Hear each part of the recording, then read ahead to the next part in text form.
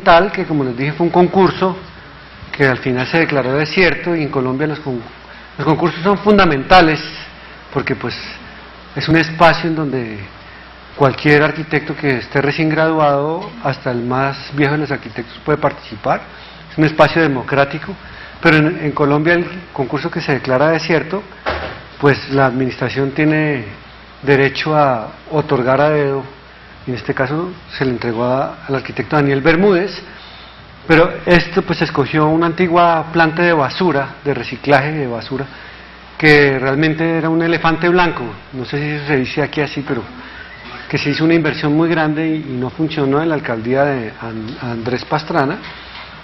Y eh, esto pues son bibliotecas en parques. Yo creo que ustedes han visto el caso de Medellín que se llaman parques biblioteca. Y pues aquí este es el parque más chiquito, tiene 11 hectáreas. En Medellín si uno mira, el parque es más difícil de identificar.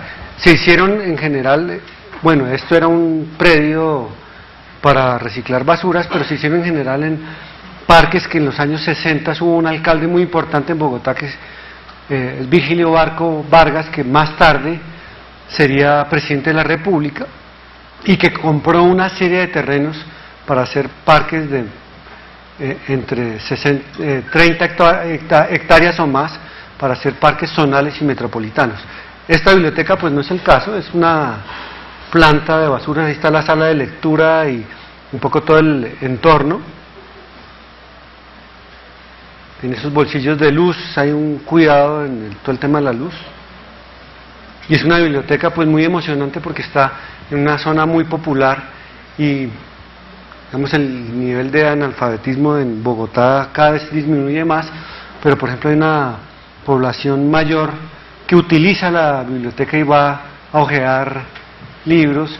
Y eh, digamos lo emocionante de esto es que hay eh, personas que viven toda una familia en un cuarto y comparten una cocina y un baño con otras tres o cuatro familias y de pronto llegan a esta biblioteca y permanecen horas dentro de ella. Eh, porque es un lugar de altísima calidad, es un templo que se le dio a, las personas. Esta la biblioteca Virgilio Barco, que ya expliqué un poco, es el predio de 21 hectáreas, la biblioteca pues es el círculo que está en la esquina superior de ese triángulo, forma parte del plan maestro del Parque Bolívar de las 350 hectáreas, la hizo pues el arquitecto Rogelio Salmona, ese es un sketch que no se ve mucho, sus primeros dibujos, y se logró que además diseñara todo el, todo el parque. Entonces pues es a través de la calidad de la intervención urbana y de la arquitectura también que se logra que la gente realmente se sienta orgullosa y realmente por muchos años en Bogotá la gente estaba orgullosa de, ese espacio. Yo creo que hoy es difícil, en, Bogotá se ha dicho siempre que es una ciudad de migrantes, de migrantes de todo el país. Si ustedes vieron el ejemplo de Medellín, en general son migrantes también en los barrios populares, pero son migrantes de Antioquia, o sea, de la región de Medellín. En Bogotá son de todo el país por muchos y muchos años. Y se dice que por eso es muy difícil la apropiación de las personas y que la gente se sienta bogotana. Yo creo que quedó demostrado que eso no es verdad y por alrededor de 5 o 7 años la gente estaba orgullosa de la ciudad. Hoy otra vez quiere salir corriendo, pero, pero es posible. Yo soy absolutamente optimista. De, la ciudad tiene todas las posibilidades de ser una ciudad increíble. Pues. Este es el interior de la biblioteca de Rogelio Salmona pues que le recuerda uno a la biblioteca de Álvar Alto. Bueno, y un día estos de las cometas con, en Bogotá son muy importantes las montañas, pero al mismo tiempo las nubes y la luz de la tarde es una luz realmente pues que en Ciudad de México también por la altura en alguna medida existe. Esta es la biblioteca El Tintal, el Tunal, perdón, es un parque de los que dejó el alcalde Virgilio Barco como alcalde antes de ser presidente. Ah, bueno, la anterior es la biblioteca Virgilio Barco en nombre de ese alcalde. Pero este es un parque de 60 hectáreas en una zona muy seca de Bogotá, que una de las principales eh, intervenciones fue pues esta ciclorruta y volver verde ese espacio que era totalmente árido y realmente había como volverlo aprovechando el agua. Eh, de la lluvia y circulándolo y sembrando árboles eh, que aguantaran un poco esos terrenos más secos. La biblioteca fue hecha por concurso, se la ganaron unos arquitectos más bien jóvenes, Sueli Vargas y su marido, una mujer, lideraba el equipo. Esas bibliotecas que mostré antes eh, fueron hechas durante la alcaldía de Peñalosa en esos dos años, porque hubo, como les dije, uno que se dedicó a la revocatoria y ese año se dedicó fue a planear, a proyectar para que en los dos años siguientes se dedicaran a ejecutar. Eh, usualmente aparecían grafitis en la calle, la gente de la Universidad Nacional que decía, eh, alcalde, eh, no más promesas, más obras. En esta alcaldía apareció un grafiti que decía, alcalde, por favor, no más obras, más promesas. Pero esta biblioteca es una biblioteca que se hizo por concurso y finalmente no se hizo nunca en la alcaldía de Peñalosa. Eh, y fue una donación al final y se construyó en una alcaldía, dos alcaldías, tres, tres alcaldías después, eh, en la alcaldía Samuel Moreno Rojas, que es un alcalde que en este momento está en la cárcel por corrupto, usó Transmilenio y todo esto para enriquecerse, él mismo pidiendo eh, que le pagaran dinero, con su hermano que era senador de la República, que está condenado a 14 años, bueno eh, la dificultad de la corrupción, también un alcalde desafortunadamente de, supuestamente de izquierda, pero esta biblioteca se logró hacer con donación de una persona pues con mucho dinero que quería hacer un teatro de ópera en la ciudad y donó entonces es una biblioteca que también está en un parque de 11 hectáreas, también hecha por Daniel Bermúdez porque eh, la persona que donó el dinero exigió que fuera Daniel Bermúdez el arquitecto. Ese es el teatro de ópera pues que en Bogotá cada vez se abren más escenarios culturales y es muy importante que la cultura le llegue a todo el mundo porque la cultura, pues como sabemos, en un momento dado es para la, como decían en una emisora en Colombia, para la inmensa minoría.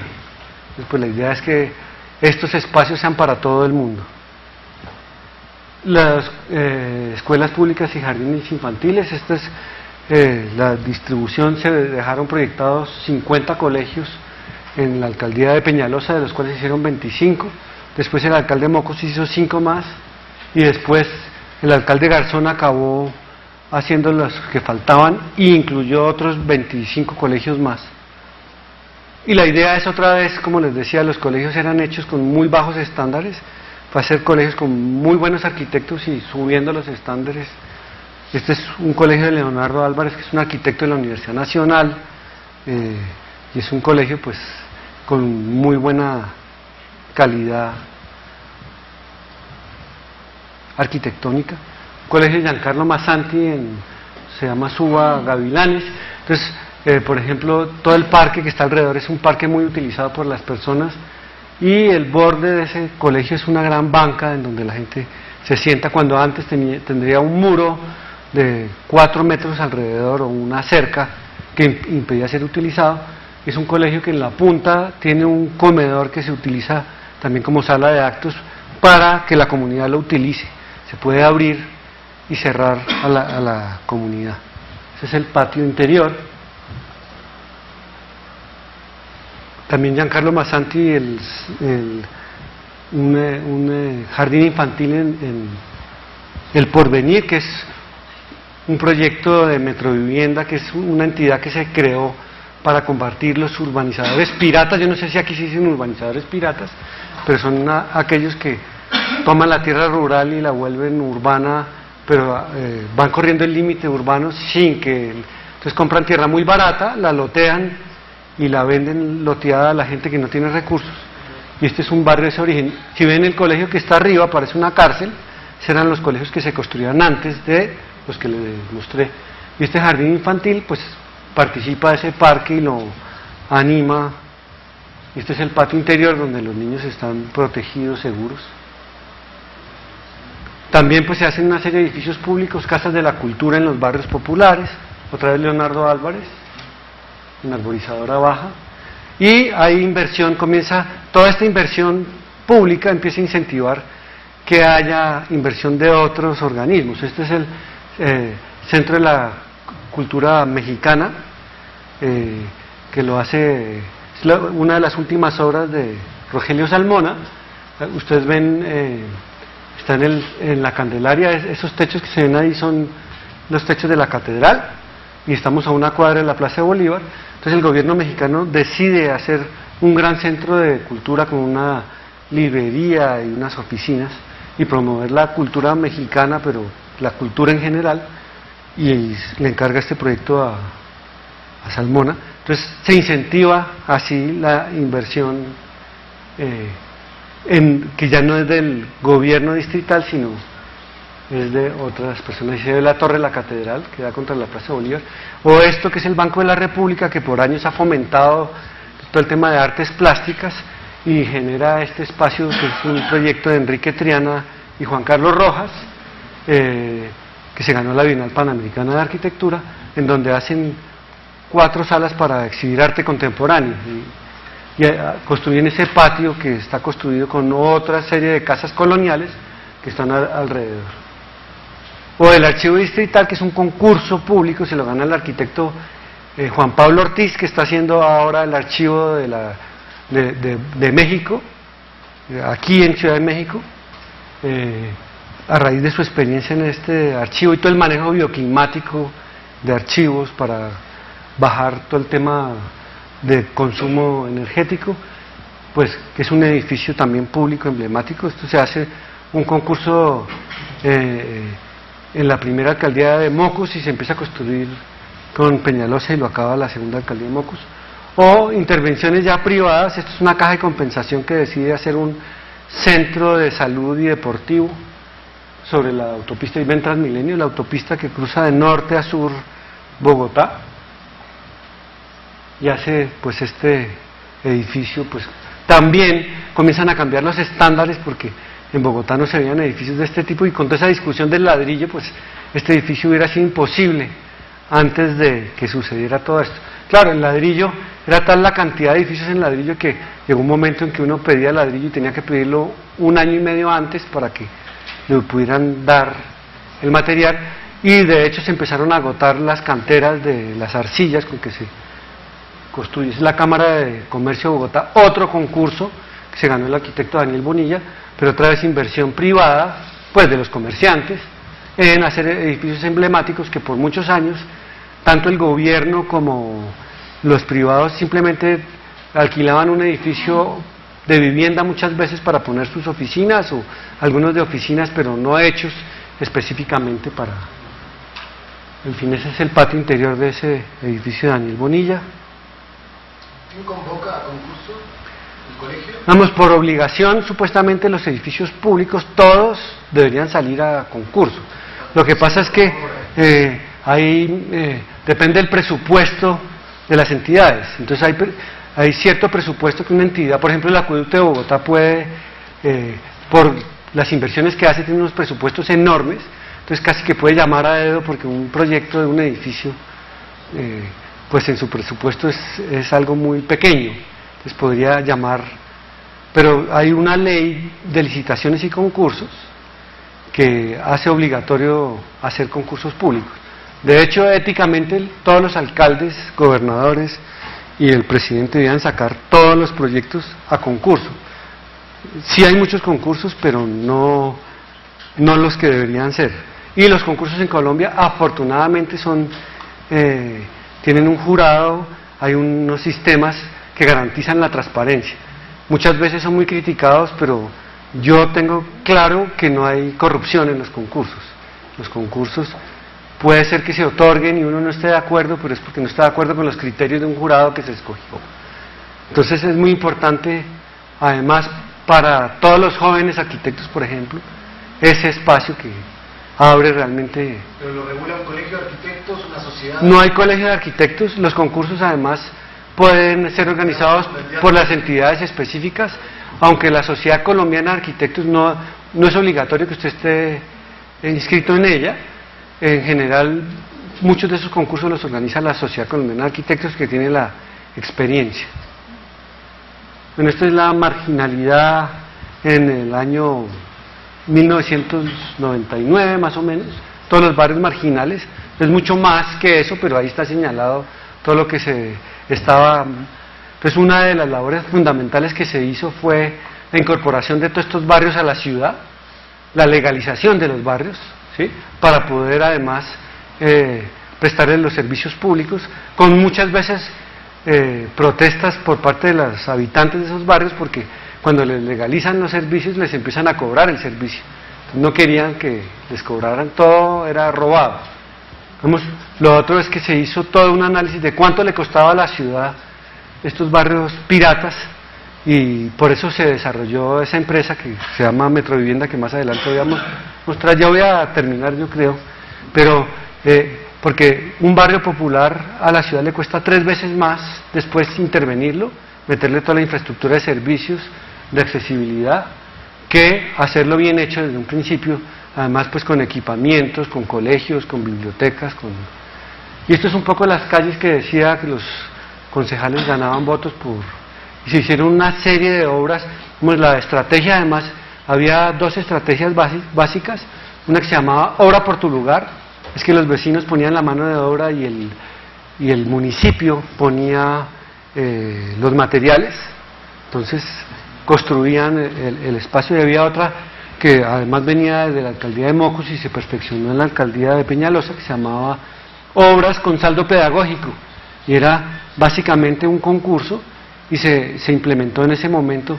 Antes eran como las alcaldías locales las que decidían, en ese momento se implementó un concurso, porque cuando Mocos no era concurso, en donde participaban por la mitad de los recursos, eh, la ponía la localidad y la otra mitad la ponía el distrito, y pues se daba puntajes de acuerdo, si era espacio público, parque, accesos a barrios, tenían unos puntajes más altos, si era un salón comunal, se bajaban los los puntajes. Y se nombró un equipo muy grande de arquitectos, además jóvenes, que asesoraron la formulación de esos proyectos y se llenaban unas fichas y Acción Comunal hacía como la escogencia de qué proyectos desarrollar. Este es uno de acceso a barrios, aquí hay otros, son escaleras también de acceso a barrios, era el Estado, y otra vez no son grandes proyectos de arquitectura, pero sin embargo son una mejoría notable para los barrios. O algunos con los que yo no estaba del todo de acuerdo, como embellecimiento de barrios, que una empresa de pintura donaba los galones, porque la ciudad ha, sido construida de ladrillo y entonces produce una textura muy especial y al volver esto de colores eh, se perdía una condición que me parecía que hay gente muy orgullosa de ese proyecto que ya se perdió, pero me parece que esa ciudad de ladrillo era muy impresionante. Esto es Metrovivienda, que es la empresa que se creó para combatir con los piratas al lado de la Alameda de Bosa, se llama El Recreo, y pues es construir eh, la ciudad quitándole la tierra a los piratas, comprando tierra que se va incluyendo en el área urbana, pero una ciudad que realmente eh, tiene alta calidad en su espacio público, tiene parques, tiene equipamientos, tiene colegios, tiene yo pues he sido bastante crítico porque, aunque es una operación de suelo muy interesante, eh, al final las manzanas ya urbanizadas se le vendían a los inmobiliarios que tenían que cumplir con un costo de la vivienda para hacer vivienda de interés eh, social, eh, pero hicieron muchas veces, por ejemplo, sobre una vía, hacían culatas, otras veces hicieron cerramientos, no, tuvieron en cuenta como todos los principios que se habían desarrollado y realmente es una ciudad que tiene mucha calidad, pero pierde calidad en su arquitectura. Eh, y claro, había como discusiones en ese momento que básicamente lo que se le podía dar a las personas más que la vivienda misma era la condición de espacio público y de equipamientos. Una persona puede vivir bien si tiene un buen espacio público y tiene un buen lugar donde ir como esa biblioteca que mostré antes o un buen colegio y esa era como la discusión. Hoy el gobierno nacional está regalando 100.000 viviendas gratis y está ah, haciendo un programa de un millón de viviendas. Cuando uno piensa una ciudad de un millón de habitantes, pues es increíble lo que se podría hacer. Y si la divide en ciudades de 200.000 habitantes, haría cinco ciudades increíbles. Pero lo que hacen es que compran las viviendas a cualquier constructor de vivienda de interés social que hace la vivienda por negocio, sin ninguna calidad. no se está pensando que la vivienda es no solamente eh, el techo, sino es la, el lugar para vivir que es mucho más allá. Y entonces le pasa algo parecido a lo que pasa aquí, aunque esto es mucho mejor porque esto sí tiene los equipamientos y tiene el espacio público. Y realmente se, se combatió toda esa vivienda pirata en ese momento. Estos son como los alcaldes, para explicar rápidamente, ahí están los periodos. Entonces Jaime Castro lo que hizo fue sanear las finanzas de la ciudad. La ciudad era una ciudad inviable antes de la alcaldía Jaime Castro.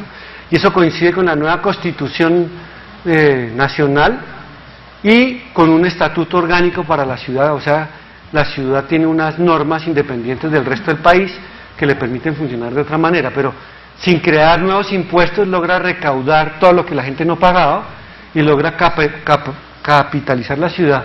Antanas Mocus hace en ese periodo del 95 al, creo que están mal los años, es más, es más tiempo que eso, eh, hace una labor impresionante de educación ciudadana eh, pero formula algunos proyectos, pero por susto a la comunidad, cada vez que iba a hacer un proyecto la comunidad decía, no, ciclorrutas no queremos, no, no queremos la 15, no. Entonces él, por, bueno, vamos a decirlo de otra manera, por respeto a la comunidad, no ejecuta una serie de proyectos que tenía muy importantes, que después viene Enrique Peñalosa Londoño y han pasado todos estos periodos y hay, ha habido recaudo suficiente para generar ese proceso como les dije, hay un año en donde el alcalde está a punto de ser revocado de su mandato. Finalmente no consiguen el número de firmas ni para revocar el mandato y en dos años se hace todo lo que ustedes han visto anterior. El plan de ordenamiento territorial, digamos, ha garantizado en alguna medida que muchos proyectos que no se realizaron en ese momento se hagan ahora o algunos que se empezaron tengan que tener continuidad porque no depende de un alcalde, pero la herramienta no ha sido suficiente. Después, bueno, eh, viene Antanas Mocus otra vez que hace una alcaldía mucho más pobre, más triste, aunque continúa con todas las políticas que venían de antes. Y eh, pone una cantidad, además, por respeto a la mujer, pone una cantidad de mujeres absolutamente brillantes que han estudiado por fuera del país. Pero algo de lo que logró Peñalosa fue compartir una visión tanto con los ciudadanos como con su equipo de trabajo.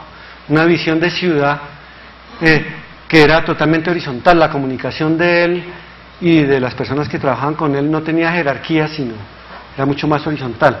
Con lo que pasa con Mocus, entrega cada una de estas instituciones a, de verdad unas mujeres muy, muy, muy preparadas, muchas de ellas mujeres, hay algunos pocos hombres, que odian a Peñalosa desafortunadamente y quieren cortar cualquier vínculo, pero lo peor y lo más triste es que se había logrado trabajar horizontalmente en todas las entidades por una visión de ciudad. En ese momento esas mujeres se pelean entre ellas y las instituciones vuelven a encasillarse cada una y no están trabajando por un proyecto general de ciudad, cosa que después en las siguientes alcaldías vuelve a, seguir. en la primera alcaldía de, de Antanas Mocus él logra con esa visión de educación ciudadana eh, enfocarse realmente en todo el tema de formación ciudadana y es también impresionante lo que logra. Después viene Luis Eduardo Garzón, que básicamente pues es el primer alcalde de izquierda, como digo, con una esperanza enorme en el país porque la izquierda funcione y desafortunadamente él eh, empieza, por ejemplo, a decir, Transmilenio, vamos a volver a meter los buses viejos porque no se incluyó la gente, las ciclorrutas, dice, eso es para los yuppies, no, no, para, no se da cuenta de la importancia. Y desafortunadamente al final se da cuenta de la importancia y entiende, pero era, pues, empieza a ser una persona que no estaba del todo preparada para ser alcalde, era, eh, digamos, jefe sindicalista, muy importante, muy inteligente, pero sin embargo hace un proyecto de colegios impresionante como lo mostré antes, de altísima calidad. Bueno, estos son los alcaldes. Después aquí faltaría Samuel Moreno Rojas, que está en la cárcel, hijo del único dictador que ha habido en Colombia, nieto, nieto, eh, que pertenece al, mismo partido de Garzón. Eh, y después se eligió al alcalde Petro, que se destituyó y él se hizo volver a con un daño gigantesco a la ciudad, porque realmente tiene unas ideas brillantes, era senador de la República, y hizo un, trabajo impresionante como senador, pero es una persona que tampoco estaba preparada para ser alcalde de Bogotá. la alcaldía de Bogotá se ha visto como un soporte para ser presidente de la República. Yo les hablé de Andrés Pastrana, que fue presidente, Virgilio Barco fue presidente, y así hay otros. Bueno, voy a mostrar rápidamente, estos son los programas de educación ciudadana de Mocus.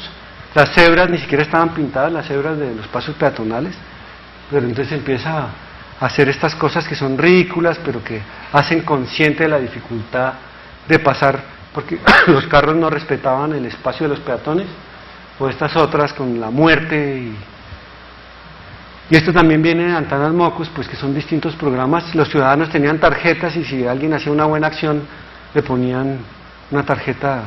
Los otros ciudadanos podían como felicitarlo, o si alguien hacía otra mala acción. Y lo de arriba, pues es eh, eh, otra cantidad de condiciones. Esto se desarrolló después, que es una pirinola en donde es interesante porque en Bogotá, después de la alcaldía de Peñalosa, eh, Antanas Mocus, eh, en el formulario de impuestos pone una casilla que dice, usted puede donar el 10% y decidir a qué rubro se lo dona de los impuestos que... Y muchas personas, pero muchas personas decidieron donar el 10% y decir para parques, para colegios o para qué querían, para transporte público. Entonces todos ponen por una ciudad mejor. De, de Antanas Mocus desde el gobierno desde los aseguradores realmente una, se genera esta campaña y ponen estrellas en el piso en donde ha habido eh, muertos, peatones muertos por eh, accidentes de tráfico, para ser conscientes de los cruces más peligrosos de la ciudad. Eh, este otro es la sociedad civil protegiendo un tanque de agua, entonces se desarrolla ese símbolo la guerrilla pues no puede bombardear la represa, ni los tanques de agua, ni envenenar las fuentes de agua.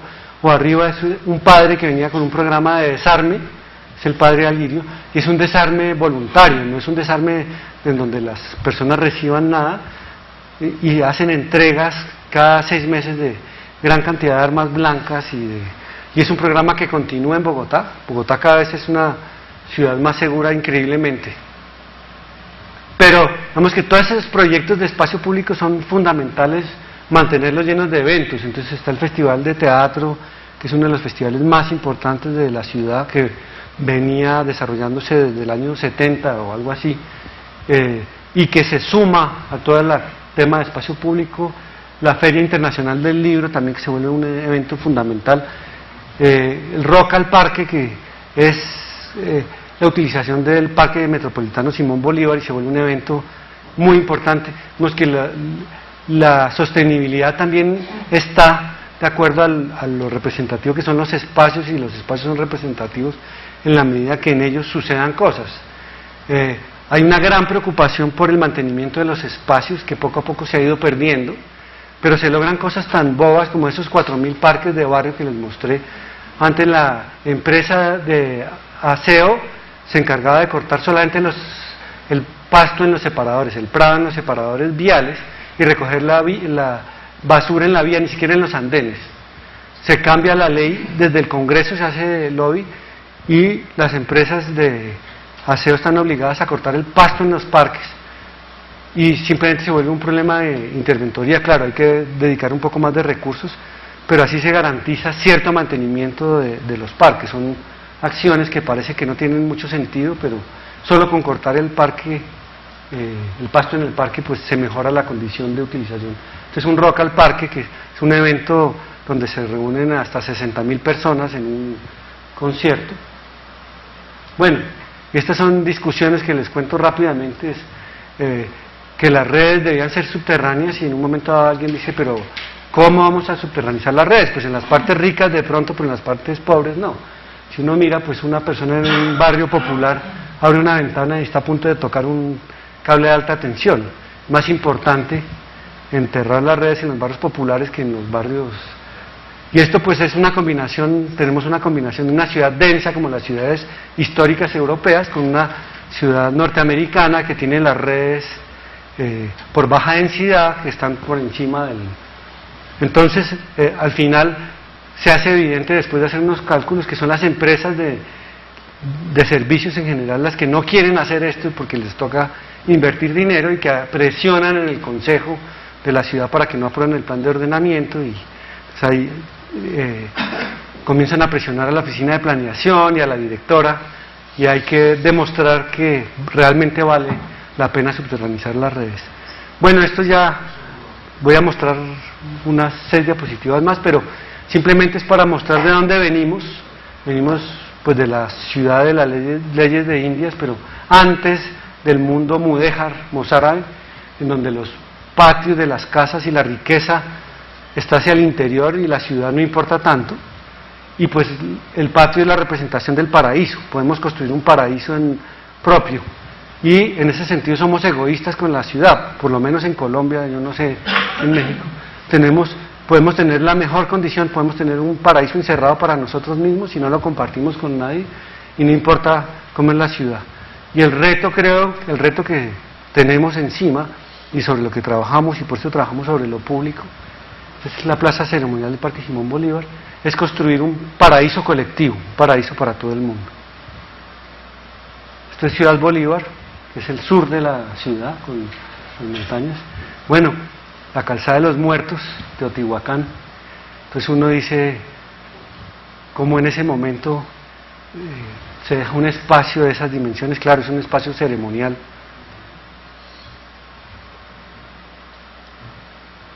Y este es un ejercicio que es el ejercicio que proponía que tiene que ver con las alamedas. ¿Qué pasaría si desenvolvemos el Central Park, ¿sí? que tiene 341 hectáreas? Ahí está Manhattan con la dimensión que tiene más o menos. Y este es el área aferente, 600 hectáreas, tomando pues las manzanas alrededor. Y entonces si hacemos un parque de 250 metros y lo... Claro, el Central Park es maravilloso, nunca haría esto que estoy haciendo acá, pero es un ejercicio para mirar. Eh, eh, entonces, miren el perímetro, eh, el parque tendría 1.485 hectáreas de área aferente, ¿sí? Sería un poco el ejercicio de las alamedas. Entonces es un poco la idea de la infraestructura. Somos capaces de destinar una cantidad de dinero y esfuerzos enormes, por ejemplo, para hacer eh, eh, el viaducto elevado que tienen aquí con el periférico, encima del periférico, pero para hacer un parque eh, de una dimensión, generar un vacío, y no somos capaces. Entonces, ¿cómo volver los parques infraestructura para que realmente se entienda que es un servicio urbano igual que la movilidad? Es fundamental. Es el área aferente al Central Park sin, antes de abrirlo y después de abrirlo, de 250 metros. Y aquí hay una comparación donde, por ejemplo, está la avenida 9 de Julio que tiene 140 metros de ancho en Buenos Aires, o el Paseo de la Reforma 110 metros. Bueno, la autopista norte es en Bogotá y tiene ese interrogante porque va variando de perfil. Y la calzada de los muertos que tiene 40 metros y pues en 40 metros es impresionante lo que se puede lograr. Ah, bueno, y está el Ringstrasse en Viena, que tiene 210 metros de ancho y la rodea.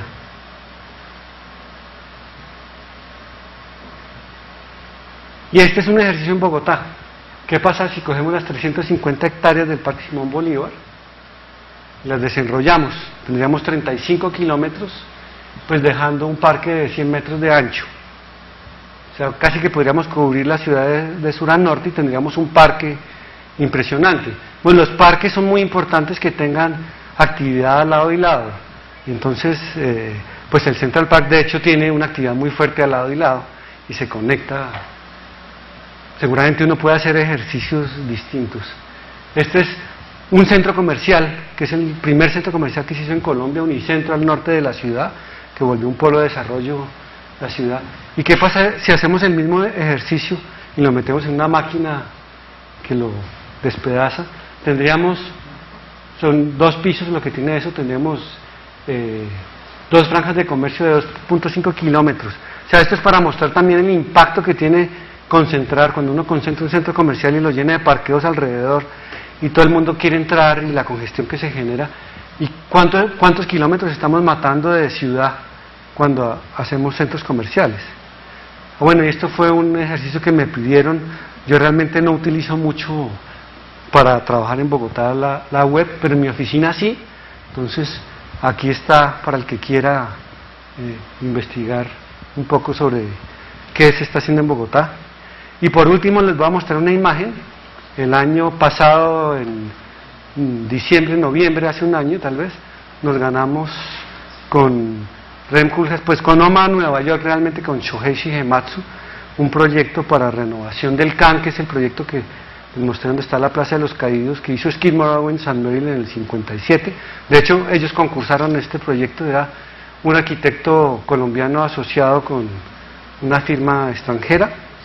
Nosotros nos ganamos este proyecto que eh, tiene toda la implementación del tema LEED, eh, cubiertas verdes, todo el tema de movilidad, digamos, se pasa una ecuación donde hoy en ese sitio se está moviendo el 27% de la población en automóvil particular, a 25 años pasamos al 10% de la población en automóvil particular, se hace una apuesta para conectar el Parque Simón Bolívar con el campus de la Universidad Nacional, y no tengo el plano, pero conectaría con el Parque Nacional que está en los cerros orientales a través de un río que es el Arzobispo, y por el otro lado con los humedales hasta llegar al río Bogotá. Eh, entonces, pues tiene todo un protocolo en donde, vamos, básicamente hay un gesto muy importante que es este, que es un parque de 21 hectáreas, Hoy hay este, eh, que es un terreno que debía estar destinado al Parque Simón Bolívar y que no se ha podido desarrollar y que es un potrero con una cerca, ni siquiera tiene borde. Entonces la idea es que en lugar de tener esta entrada al Parque Simón Bolívar, se tenga algo que conecta realmente la ciudad. Y bueno, ahí termino. Muchas gracias.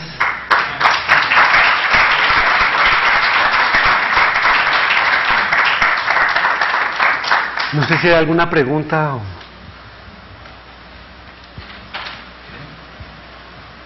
Después de tantos años, después de haber eh, implementado el Transmilenio y que ahora ya está todo parado, estamos viendo con llegar a un nuevo alcalde y les dice, bueno, voy a retomar, voy a hacer otras rutas de Transmilenio, ¿qué cambiarían? después de toda la experiencia, ¿qué cambiarían en el diseño, en los lineamientos del diseño? Son preguntas difíciles, pero vamos, la discusión ahora, por ejemplo, es que empezaron a decir que había que meter un transmilenio liviano por la carrera séptima.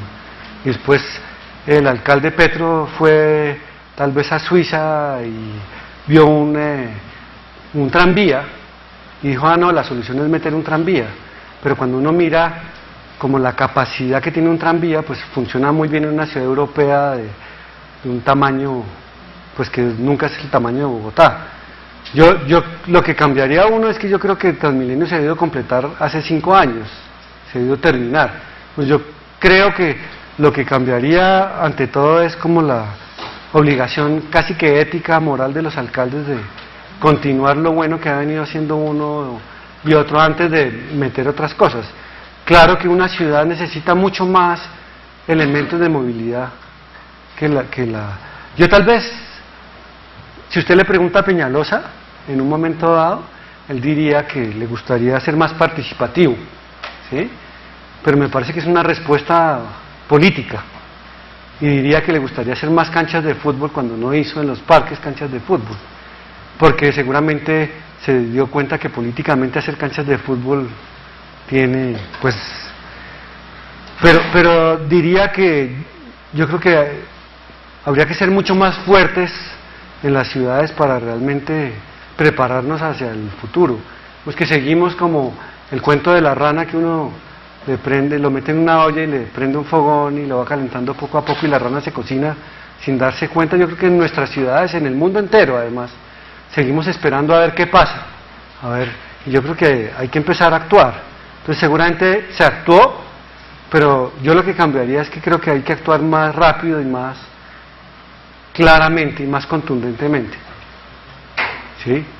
Eh, el tema de la participación, bueno, soy sincero, a mí me cuesta trabajo, porque lo he visto, por ejemplo, en ciudades como Medellín, en donde se sienten tranquilos y a veces es como chulear en un formato que hubo participación ciudadana. Escogen a los niños para que hagan dibujos, y a unos grupos X o Y, y entonces después dicen, ay, el proyecto pues tuvo participación ciudadana. Que el esfuerzo que se hizo acá fue explicar los proyectos. Seguramente yo trataría de explicarlos mucho más y que le llegaran más a la gente. Lo que es interesante es que yo creo que al final de la alcaldía la gente entendió. Hay, hay, hay, algo que es duro, pero eh, en muchos costureros y test de señoras en Bogotá se hablaba, por ejemplo, de un volardo cuando esa palabra no existía en el léxico de nadie. Y se hablaba de las vallas de parqueo y que se reemplazan por andenes. Y eso, sin querer, se volvió una pedagogía seguramente no tan inteligente como la de Mocus, pero que puso a todo el mundo a hablar de la ciudad. Y yo creo que, eh, pues, yo eh, cambiaría que me parece muy importante lo que hizo Mocus en su primera alcaldía y que no continuó del todo. Digamos, mm, Peñalosa no lo continuó del todo. Es todo el tema de educación ciudadana, creo que es fundamental, que son cosas muy simples y que, aunque se invirtió un gran presupuesto, el presupuesto pues no, no es tangible al lado de lo que se invirtió en obra física. Entonces, eh, cambiaría eso. Yo creo que, como, de todas maneras, una lección es que, si usted, ustedes vieron Medellín, Medellín lleva cuatro alcaldes que han seguido como con las intervenciones y ellos están muy seguros de que no va a pasar y, y, en alguna medida ven a Bogotá como un fracaso. Yo no lo veo como un fracaso, yo lo veo como una oportunidad enorme de seguirlo construyendo. Seguramente va, hay que esperar a que llegue alguien que, que lo haga. Eh, pero si usted mira, pues Bogotá por su dimensión tenía que apostarle al tema de los sistemas, que son a gran escala. Medellín le ha apuntado algo que ellos han dicho que es como proyectos urbanos integrales, que fueron como formulados en su principio por Alejandro Echeverry, dentro de la alcaldía de Fajardo, y que están muy bien, pero que son limitados un poco a los barrios. Es, es un territorio mucho más limitado. En Bogotá lo que se hizo son más sistemas que pretenden cubrir toda la ciudad. Yo, pues, eh, ¿qué otra cosa cambiaría? Digamos la dificultad, pero es por dificultad. Un poco lo que decía es, no podemos seguir discutiendo una línea de metro, sino que tenemos que discutir todo el sistema y saber cuánto vale y a cuántos años. Entonces, uno no puede construir eh, cinco kilómetros de ciclorruta, sino que la tiene que cerrar. Los sistemas son cerrados, son completos. Eso es, eh, yo creo que es eh, fundamental. Tal vez cambiaría un poco la comunicación, una comunicación mejor con los ciudadanos en la alcaldía de Peñalosa, me parece. Se entendió al final, pero ha podido ser mejor. Una, una pregunta, acerca de la alcaldía de Peñalosa, ¿en qué tramo de, de, de su gobierno fue el barrio del Cartucho? Que fue un gran detonador también urbano. Sí, vemos que un poco lo que les decía al principio, yo creo que hemos perdido la capacidad de soñar, Y Peñalosa, casi que yo diría que es un niño que sueña muchas cosas, y sueña que las cosas pueden ser diferentes. Entonces, nosotros muchas veces estamos embebidos en solucionar el problema inmediato, el problema hoy y para la comunidad que está en tal sitio. Y resulta que si uno quiere ser incluyente, pues la idea es que esa comunidad eh, siga ahí, pero que sea parte de una ciudad.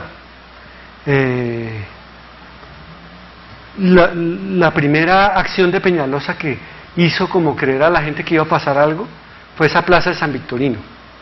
Cuando nadie creía que podía pasar algo, fue una, eh, digamos, una promesa como que de pronto la gente dijo, uy, la cumplió, la hizo. Es verdad, con todas las dificultades del mundo. Ahí tuvo que negociar. Eh, lo acusan de muchas cosas y hay muchos mitos porque hubo una campaña muy bien armada de desprestigio de Peñalosa, que decidió irse a, a los Estados Unidos con unas becas en Nueva York para no, eh, digamos que en Colombia lo usual es que un político se quede bombardeando al, al que viene. Y, entonces él dijo, yo me voy y guardo silencio y guardó demasiado silencio y cuando volvió ya era, había una bola muy grande que era muy difícil de, de detener. Pero, digamos, el punto detonante, en donde yo creo que la gente empezó a creer que era posible hacer algo, fue esa plaza. El Parque Tercer Milenio vino después. Pues ahí había un trabajo muy impresionante de, de, coordinación de muchas entidades. se estaban desde las entidades de servicios públicos con todo el tema, por ejemplo, de tuberías y redes, pero estaba todas las de bienestar social con una persona muy importante que después fue senadora y defendió eh, los derechos de los niños, que, pero, pero esta persona era una persona muy consciente que hizo un programa para los indigentes, para desintoxicarlos, un, un programa para los vendedores ambulantes, un programa para las familias digamos, más desprotegidas que vivían en el sector. Eh, se hicieron una serie de programas, algunos exitosos, otros fracasaron, por ejemplo, los indigentes, pues eh, la idea de desintoxicación solo se puede hacer si una persona está dispuesta, entonces del 100% seguramente un 15% nada más realmente se recuperó y los demás volvieron a la calle, unas inversiones muy altas porque vamos, las familias abandonan a sus propios miembros de familia cuando tienen problemas de, de drogadicción o de locura. ¿sí? Pues la ciudad los acogió, pero se hicieron eh, reubicación de ciertas familias que sí funcionaron. Los vendedores ambulantes, por ejemplo, se hizo un programa muy interesante de reubicarlos en otros sectores formales de la economía, que tampoco funcionó, porque los vendedores informales no quieren tener jefe, no quieren tener horario, prefieren vivir día a día. Entonces funcionó en un 20%. Eh, con muchas dificultades. Entonces, sin embargo, en la Plaza San Victorino, por ejemplo, que yo mostré, hay unos vendedores reubicados. Eh, la Constitución Nacional, como yo digo que en cualquier país dice, prima el interés general sobre el particular. Ahí se aplicó un poco ese principio. Y el espacio público por ley en Colombia es imprescriptible e inalienable. Lo que quiere decir es que algo que está señalado como espacio público, si alguien lo invade, no, tiene derecho a que le paguen absolutamente nada y lo pueden sacar. Pero en este caso, como eran los vendedores reubicados, la alcaldía les pagó dinero a esos vendedores para reubicarlos. Pero digamos que el símbolo se volvió esa plaza y ya después la plaza se disolvió en una cantidad de acciones impresionantes y yo creo que lo más importante que hizo al final son esas bibliotecas públicas que están ahí, que son muy potentes y que realmente existía una sola biblioteca en el centro de la ciudad, que es la Luis Ángel Arango, que la maneja el Banco de la República, es la, biblioteca más consultada del mundo, del mundo, porque no existía nada más. Allí iban todos los niños de colegio, los estudiantes de universidad a investigar. Y ahora, pues eso, el nivel de consultas ha bajado porque hay posibilidades de consultar en otros lados. Y están conectadas, uno puede pedir un libro en el Tintal y desde la Luis Ángel Arango. Y hay bibliotecas universitarias también conectadas a ese sistema. ¿Es parte del parque de biblioteca o es nada más de Medellín? No, eh, digamos, Medellín. Yo creo que ha hecho una labor impresionante, ha hecho un trabajo increíble. Y yo creo que, pues, bueno, a mí me consta, yo en su momento hablé primero con Alejandro Echeverri, que fue el asesor urbano del alcalde Fajardo, ahora gobernador, después hablé dos veces con Fajardo y estuvo preguntando ciertas cosas. Y Medellín, pues yo creo que es un resultado, entre comillas, no creo que sea lo mismo, ¿sí? Pero, digamos, es una evolución y una posibilidad de ejecutar a partir de la confianza que generó Bogotá, ¿sí? Bogotá generó una confianza en que era posible cambiar la situación. Medellín venía de una situación que ustedes conocen de narcotráfico y violencia, que aún continúa, pero que fueron capaces de revertir en alguna medida a través de toda esa intervención urbana. Y en Bogotá, pues, parte del orden que se generó también ayudó a disminuir todos los índices de violencia y realmente los servicios públicos, por ejemplo, se fueron, estamos llegando casi al 100% de cobertura en, todos los servicios públicos cuando Medellín todavía no lo tiene. Entonces, eh, Bogotá yo creo que no tuvo ese nivel de mercadeo que ha tenido Medellín, que también eso hay que medirlo, pues Medellín ha tenido un nivel como de ventas de su imagen y de, yo creo que de hecho han sido mucho más lanzados, por no decir vanguardistas, en las intervenciones que han hecho, por lo menos en la calidad y la imagen de la arquitectura que producen. Una arquitectura mucho más visible. Y como yo estaba diciendo antes, Bogotá le apostó fue a unos sistemas donde la arquitectura tiene cierta calidad, pero a lo mejor no es tan visible, es una Bogotá se, ha caracterizado por tener una arquitectura además más reposada y más seria, entre comillas, a veces aburrida, ¿sí? Mientras que Medellín, pues yo creo que arriesga más en ese sentido.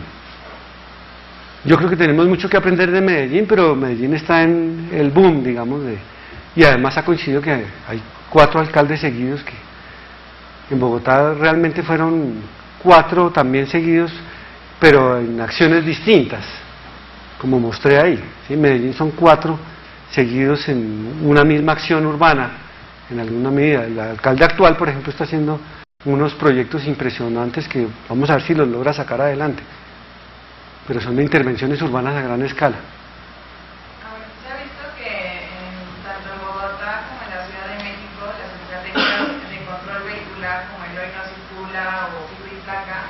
No han sido como medidas eh, eficientes para atender el problema de vehicular. Entonces, eh, algunos como abogados consideran que la solución está en revisar los incentivos que se le da a la industria automotriz y considerando el peso que tiene este sector tanto a nivel global como en un país por la, derrama económica y la generación de empleo, eh, ¿de qué forma se podría como vincular este sector en la conformación de una ciudad sustentable en donde, en donde se priorice eh, la movilidad incluyente y equitativa? Hmm.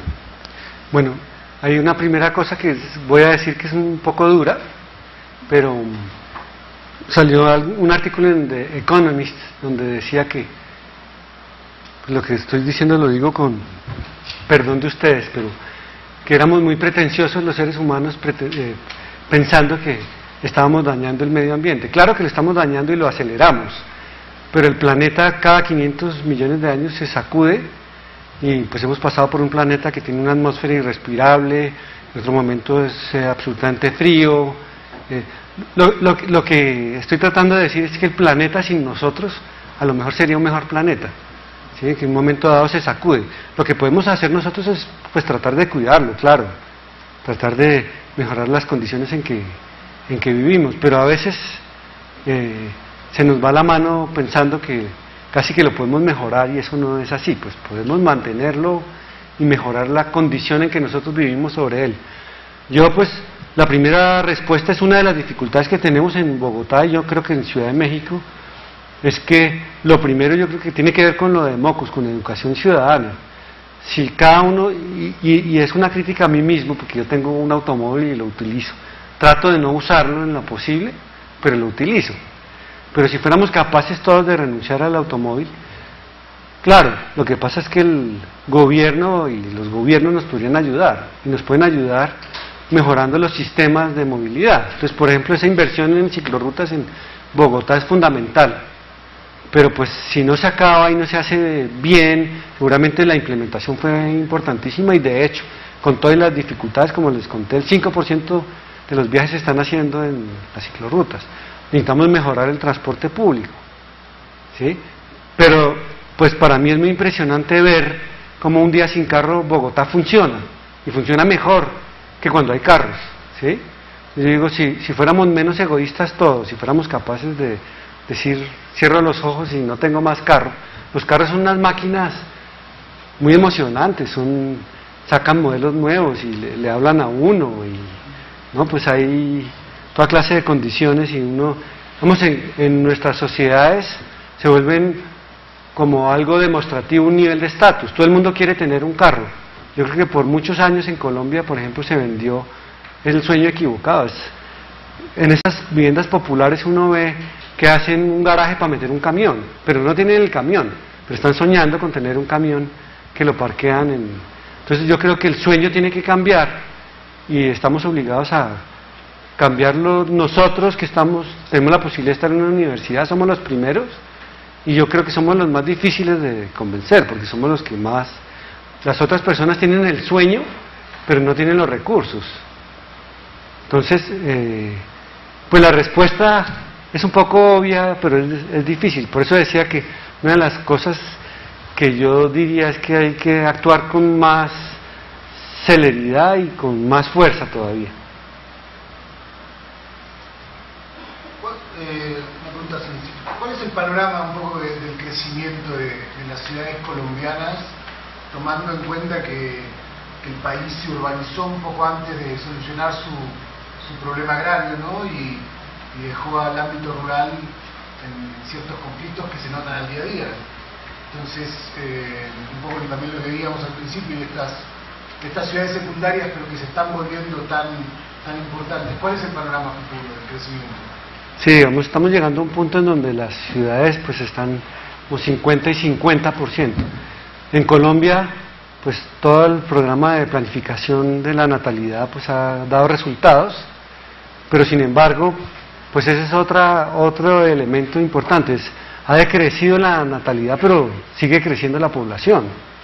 Entonces, estamos creciendo a una tasa mucho menor, pero seguimos creciendo. Y el planeta, pues es así todo, ¿no? Estamos llegando a un punto de inflexión en donde las ciudades van a superar eh, en las áreas rurales, pues el campo, los campesinos. Eh, pues yo creo que es fundamental recuperar todo el tema del campo y en Colombia se está trabajando en eso desde el gobierno nacional. se consolidó no? No se consolidó del todo y vino pues todo el problema de las guerrillas, que la guerrilla en Colombia tiene 50 años, ¿sí? y que está en un proceso de paz que ahorita está roto, como ustedes han oído, eh, con una esperanza muy grande de poderlo hacer para, además, fortalecer el campo colombiano. Pues esa es la idea. Como les mostré ahí, la mitad del territorio es eh, selvático, inexplotado, y uno de los problemas grandes hoy es que está explotado, por ejemplo, por la minería ilegal, por la tala de bosques y de selvas eh, ilegalmente también. Digamos, la ilegalidad en ese territorio hace una presencia muy fuerte porque no hay presencia del Estado. ¿no? Entonces, pues, eh, bueno, no sé si le contesto su pregunta exacta, ¿cuál era? ¿Cuál es el panorama un poco del crecimiento de la ciudad? Eh, digamos, en Bogotá, por ejemplo, hemos pasado de familias de cinco personas a familias de tres personas y comienza a haber, eh, eh, digamos, mono hogares, o sea, de una sola familia, o sea, se ha cambiado el patrón, pero pues comienza a haber la necesidad de una habitación o de un apartamento que tiene cocina, baños, por una persona, ¿no? Entonces, pues... Y el, precio del suelo es, como el suelo urbano se está acabando, entonces el precio del suelo está disparado. Entonces ese es uno de los problemas que hay para producir bien de interés prioritario y bien de interés social. Eh, y la violencia ha hecho que por, desde los años 60 hasta ahora hay una migración permanente de todo el país hacia Bogotá y de las regiones a los polos poblados como Barranquilla, Cartagena, Medellín, Pasto, Cali. ¿sí? ¿Qué densidad de población tiene la ciudad de Bogotá por hectárea? 208 habitantes por hectárea. Vamos que hay discusión también, digamos, está entre 140 y 200 habitantes por hectárea. Porque ya 202 anda cerca de Tokio. Sí, pero como usted... Estamos en 140. Están en 140. Sí, yo, creo que estamos cerca de los 200 kilómetros, como, eh, 200 habitantes por hectárea, como le mostré ahí. Como el territorio es limitado. Eh, de hecho, uno de los problemas que tenemos es que la ley de ordenamiento ordena hacer los planes de ordenamiento territorial dentro del área municipal. Entonces, la planeación territorial es muy difícil. Y en Bogotá se viene trabajando hace 10 o no, hace 15 años en planeación territorial, pero es a través de acuerdos que los municipios no están obligados a, cumplir porque no hay una ley que los obligue como tal. Entonces, lo que se planea en Bogotá son las eh, 40 eh, mil hectáreas urbanas, ni siquiera las otras eh, 20 mil hectáreas que hay rurales. Bueno, no sé si hay alguna última pregunta o... Muchísimas gracias por el tiempo y les pido disculpas si me demoré más de lo previsto.